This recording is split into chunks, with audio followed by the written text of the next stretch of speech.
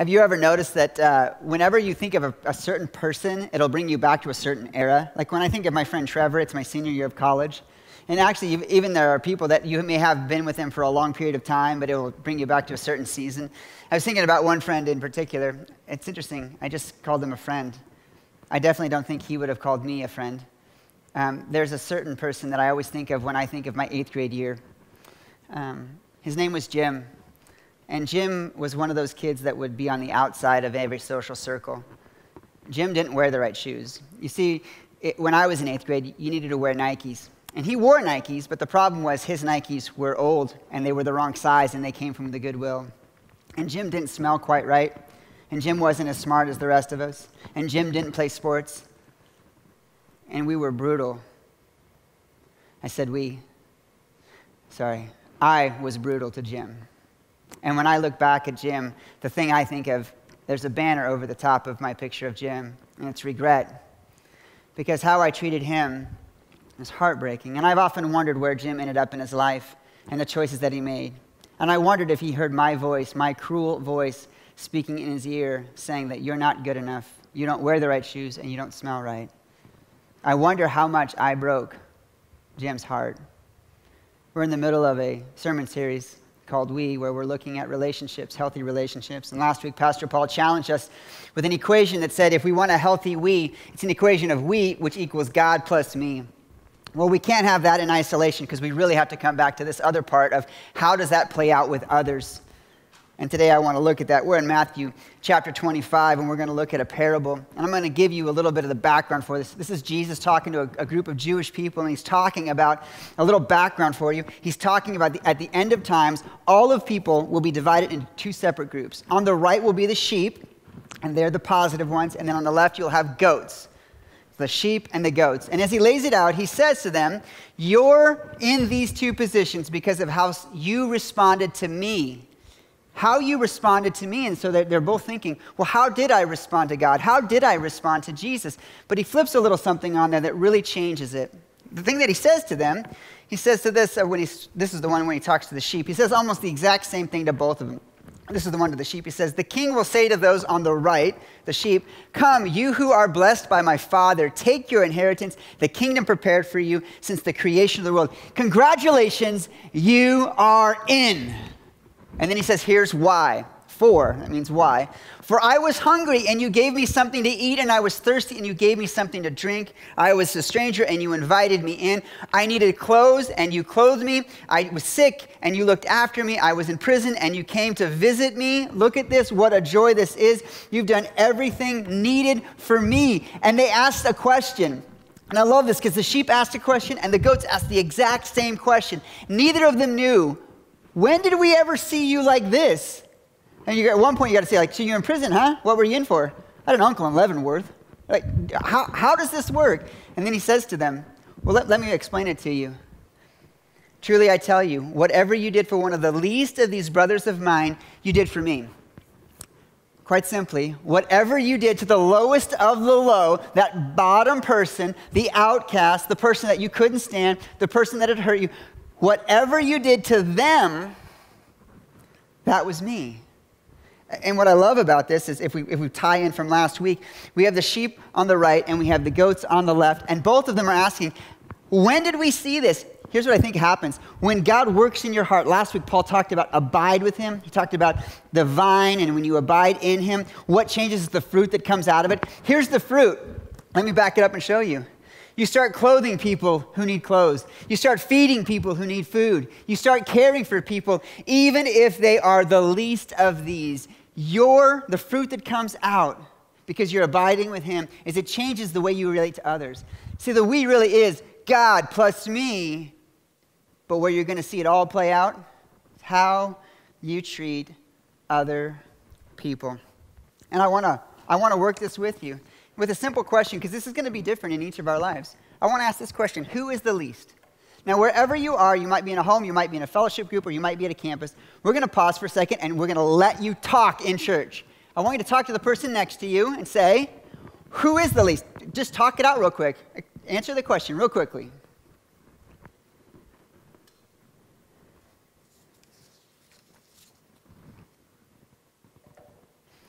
Now, some of you have an obvious answer. Maybe you have someone in your life that's like Jim.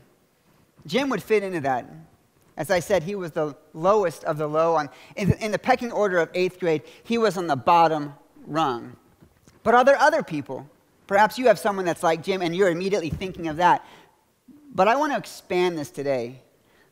And perhaps what's going to happen today is the Holy Spirit's going to work on your heart. And if you're abiding in Him, if the Holy Spirit is working in you, you may see, we may open our eyes to see, there may be other people that are actually fit under the least of these that you are called to love, to feed, to clothe, to visit, to join them. And the first of these that I'd like to, to point out to you is I think there are the down and out. When I ask my friends, we would look at this text and I'd say, hey, who do you think this is for? The most common answer is, well, who's hungry, who's thirsty, and who's been in prison? You would usually say, well, homeless people, people that have made poor choices. So, how we treat them is remember what you've done to the least of these, you've done to me. How we treat them is how we're treating Jesus. And I think that that's totally true. And again, I think that this is where Jim fits in. But I don't think this is the only place. And I think that's important for us to say are there people that are down and out that God has placed in our lives that we need to reach out and love? Because that is a representation of Jesus Christ. And how I'm loving that other is how I'm loving him. And if you could see it this way, I don't know what picture you have of Jesus in your mind, but if you see that person and then you put Jesus' face on it and say, I am going to love Jesus. And I, here's what's interesting is you may think of yourself as I'm not down and out. I completed school, I got a job, I keep a job, I'm not down and out because of the, and this is what we think, because of the choices that I made. And here's what, unintentionally, probably, you're thinking, you know why they're down and out? Because of what they did. And let me, let me remind you something. The gospel says this I'm a sinner and you're a sinner. And here's what you deserve you deserve to be separated from God, and you deserve hell. But the gift of God is eternal life in Christ Jesus. If you don't remember this, maybe this is the day where you need to be reminded. You are a down and out if it weren't for Jesus. You don't deserve it either. And so when you see that person, and you say, look at the choices they made. Your choices on their own without Jesus saving you, you end up in hell away from God as well. So hear that very clearly. You are not above the down and out, although it's very tempting to put yourself there. There's another group of people, and I'm going to tell you, I'm inferring this. The text is really talking about just the two groups and about feeding and caring and about needs. And I totally um, get that. But I realize that when it comes to me, when I think of the least, I'm thinking of two other groups that fit into this. And one of them is anyone that fits on the other side. And you're saying, well, the other side of what? The other side of anything that I don't agree with them on.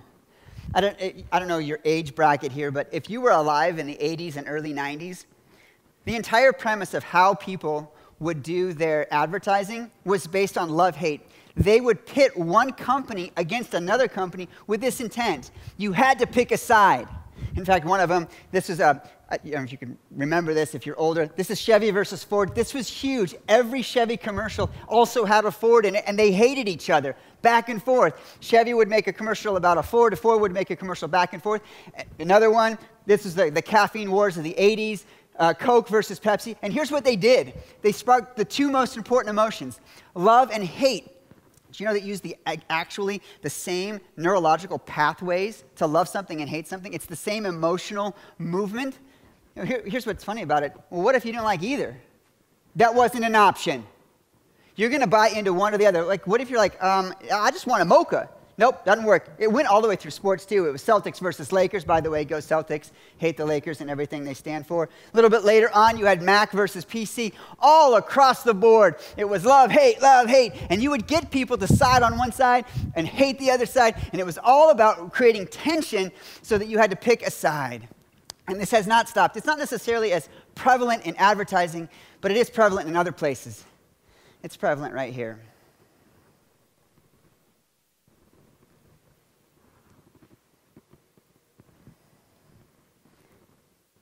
Funny, there's a lot more tension right now. And a few, few seconds ago, I was talking about Coke and Pepsi, and you were laughing with each other on which side you pick, or Ford versus Chevy, or Mac versus PC. But now you have all the weight of Twitter, Facebook, and Instagram. You have the weight of the nation, and some of us are feeling the tension. Let me just ask you a simple question What are you feeling? Because when you see this picture, some of you are feeling hatred. I don't even know which side you're, you're looking at that you're hating, but I know that there's hatred. I know that there's anger. I know that there's fear. And I'm going to ask you a simple question How do you love the least of these? What do you do with someone who's on the other side? Not of Coke versus Pepsi, but of something that really matters to you. Is your only option to try and convince why your side is better? Or can you say, I will give food to the hungry? I can't do that. They, they, I don't agree with them. Let me come back to the gospel. Remember what we said about the down and out? We're all the down and out. And I want to give you something even more profound, something so much deeper. This idea of the other side, what I'm actually saying is, what do you do if they're your enemy? If they don't love what you love, in fact, if they stand in opposition to what you love, can you love them beyond that? Because here's the gospel. While we were still sinners, while we were the enemies of God, Jesus Christ left heaven, came to earth, came as a baby on Christmas morning, died on a cross, and three days later on Easter morning rose from the dead. Why? Because he loved an enemy. You and me. So I ask you a simple question What's your plan on loving people that you don't agree with? Some of you think that they need Jesus, and, and there's a subtle thing that you have there they need to come to Jesus because if they came to Jesus, then they would agree with you. For God so loved the world that he sent his one and only Son that they would become that political part. It's not true. For God so loved the world that he sent his one and only Son for the purpose of salvation. And what your enemy needs is not a change of mind, but the heart of Jesus living inside of him or her. For what you've done to the least of these, you've done to me. I'll put this in another way. There's a little bit more. It's not just the down and out, and it's not just the other side. What happens if the person that you're looking at is really your enemy? Jesus says this 20 chapters earlier. He says it, and he's doing a sermon, and he says, You've heard it said to love your neighbor. That's easy. But I tell you to love your enemies and pray for those who persecute you he's sending this out, the basic idea of love. And how do we practice that out? For I was hungry, and you gave me something to eat. So as I look at those two, the down and out and the outsider, I see more to it than that. There's something more profound happening. I think there's someone more difficult to love than just those who are down and out or those who are on the other side. I think there's also those who have inflicted pain. In fact, when you think of them, you cannot think of them without thinking of the hurt that they have caused you. I just had a realization as I'm talking with you here. As I'm saying this, you may be thinking of someone that hurt you. If Jim were watching this, he may be thinking of me. Jim never hurt me, but I know I hurt him. And I don't know if he were listening to this, he would have to say, uh, answer this question How would I love someone like Will? because Will's not very lovable. And that's what he would be looking at right there. Let me ask you a simple question Who's hurt you? I think there's a way that we sometimes look at the equation. Remember, it's we equals God plus me plus others. I think sometimes this is how we focus on it. Now, I don't know how much you remember your algebraic order of operations. Algebra is a math class, by the way. Uh, math teachers are loving this right now. In the order of operations for algebra, Here's the way it functions whatever is inside the parentheses, you do that first. This is how we function a lot of the time. When I have a problem, when I have someone that's hurt me, I often think of them. The way I picture this is I am driving, I'm somewhere alone, and I start having a conversation with them in my head. And I am the only one talking, and I'm telling them what's wrong because they're hurt, they've hurt me, and so I'm explaining to them what's wrong. Now, where does that ever take us? it doesn't ever take us to a healthy place. In fact, eh, there's a, there's a church term, and I know this is totally churchy. and If you're not from a church background, I'm going to explain it for you. There's a word called repent, and it's a basic idea is you're going the wrong way, and repentance means I'm going to realize I've gone the wrong way, and I'm going to turn and go the other way. That's repentance. U turn would be a good term for that. Here's what I think a great picture of mental repentance is you're driving along and you're thinking to yourself of all of the horrible things this person who has hurt you has done. And then you flip it and say, wait a minute. You stop that train of thinking, you stop the conversation, and you flip it around. And instead, you change the order of operations. You begin with God and me. You begin maybe by saying, God, I'm angry right now. God, I'm hurt. I'm upset with them. And you just bring it to Him and you start there. And it's amazing what begins to happen when my, when my thinking first is me and God, then others. Because remember this with the others, when you're looking at this and, you're struggling and you're, you're trying to process this and they've done something that's hurt you and everything you're seeing them through, you're seeing them through a filter of pain. Well, what happens if you picture that person? And I want you right now to picture the person that's caused you the most pain.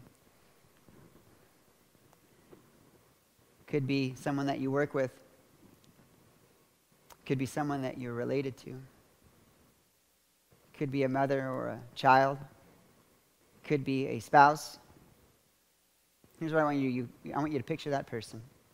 Now I want you to picture the face of Jesus covering them. And here's because here's the essence of it what you've done to the least of these, and sometimes the least are the people that have caused you the most pain. That this idea that I am connected with God, I am putting a picture of God over the top of that. Because what you've done for the least of these, you've done to me. The Apostle Paul says it this way We were supposed to bear with each other and forgive one another. If any of you has grievance against someone, forgive as the Lord has forgiven you. Uh, the Lord forgave you. As I, I think about this, uh, I can't help but think about this in the life of my family. I'm going to share with you a little background of some people that had a profound impact on my family from three generations ago. This is Tojo, and this is the Emperor Hirohito. They were the leaders of Japan in the 30s, and they made a decision. They thought that it was important for Japan to control all of Southeast Asia. And in the process, the United States went to war with Japan. And because of that, my grandfather at age 17 lied about his age this is my granddaddy. Lied about his age and enlisted in the Marines, and of course, the Marines took him. And because of Tojo and Admiral, or Emperor Hirohito, he ended up on the beaches of Iwo Jima. He survived physically, but he was one of those who made it back, but never made it home. And the scars that he brought home with him were profound. And his scars led to scars on other people including my dear sweet grandmother, including my mom, and including my uncle. There were things that were done and things that were said that broke hearts. At one point, my grandmother had to have a restraining order against her husband. Now, he was a follower of Jesus, but there was something so profoundly broken in him. At one point during the restraining order, my grandfather would drive up and down the street scaring them, and my grandmother took my two year old uncle and my 10 year old mom, and the only place they could hide, they turned out all the lights, closed all the blinds, and hid in the hallway because it was the only place that didn't have a window because he would walk up and around the house and scared them half to death. And there's a voice that echoes down the corridor of time What you've done to the least of these, you've done to me. So, how does my grandmother respond? At one point, she was given the advice by a pastor that said, You can go ahead and divorce him. He had committed um, adultery. She had every right, but she felt the Holy Spirit saying, What you've done to the least of these, you've done to me. And though she protected herself when it needed, because abuse needs to be protected against, she also chose to reach out in love. And I remember a story that my grandmother told about she and my grandfather near the end of his life, my, my grandfather ended up being committed into the hospital. My family's from Portland. They ended up being committed into a hospital, a VA hospital in Roseburg, Oregon. And my mom grew up driving from Portland to Roseburg to visit her troubled father. In fact, my, my parents live here now. The idea of moving here was really hard for my mom for a long time because her memory of Roseburg was the VA hospital and a broken father. But at one point nearing the end of my grandfather's life, he had a lot of physical problems. Um, he, had, um, he had a lot of shaking in his hands. partly from the shock treatment that they gave him to try and fix him. Let's give electrical shocks to people when they have a broken spirit. Let's not worry about Jesus. And in the process, one time he went to light a cigarette and he dropped a cigarette and caught himself on fire and he had third degree burns all over his front. And his esophagus, I don't know why, but it was closing up, it was constricting, and you basically couldn't put a, a pin needle down through it. It was just closing up on him. And my grandmother remembers at one point at this stage, he said to her, Can I just have some soup? And I thought about that verse. I was hungry, and you gave me something to eat. Of all the people to say no to, I feel like my grandma had every right to say, No, are you kidding me? Look what you've done. But grandma went into the kitchen and made some soup. Because what you've done to the least of these, you've done to me. And it may very well be that the person that has broken your world, your only option is to see them like Jesus. That or bitterness will destroy you. And if you ever met my grandmother, my grandfather actually died when I was about two, so I don't, I don't remember him. But I know my grandmother. And if you looked at my grandmother, you would say the word grace would echo out of her. And the grace I saw in her, I think, was practiced before I was born. It was practiced on a husband that didn't love her well. But her response changed everything. And it began a legacy that was different from the legacy that my grandfather had started. And I have to say, I'm very grateful for my grandmother. I remember the last time I saw her. The last time I saw her was the first time she ever saw my little boy. My son's eight now. Grandma was laying in a hospital bed and it was dying of cancer. Um, she slept most of the day, but I went in there with the little boy. He was probably a month old, and I said, Grandma, your, your great grandson wants to say hi. And so she woke up and said, Oh. And for about four minutes, she held her, her grandson. You know what I, I want? I want her great grandson to live out the grace that she exuded in stories that she lived out before I was born, but that I saw in her that echoed out. As she would talk about her husband, there was a sweetness in her voice. Sometimes we, uh, we talk about people that have hurt us, and our very tone is condescending, and the pain echoes through. I think my grandmother healed, but I think she didn't heal because my grandfather died. I think she healed because of how she loved him when he was alive. It's one of the things that I notice. He says, I was hungry and you gave me something to eat. I was thirsty and you gave me something to drink. I needed clothes. That one of the ways that you love them is you love them by caring for their needs. And you may think to yourself, I actually don't know anyone that needs food, water, or clothes. We live in a very abundant society, but let me flip that for you. I want you to picture the person maybe that you work with that you cannot stand. And the next time there's a meeting, you bring them a mocha. Make sure that they like mocha, okay? I mean, doing something loving, that you provide for a need that's not necessarily one of the needs that says, I will live or die based on it. But you simply say, I'm going to love today beyond our past. Meet them in their need. Another thing that I think was so interesting, he says, I was sick and you came to visit me. And some translations say I was in the hospital and you came to visit me. There was this part of there was a problem. I was in pain and I mattered to you. I was uh, reading an article. Um, one of our elders sent me an article about empathy.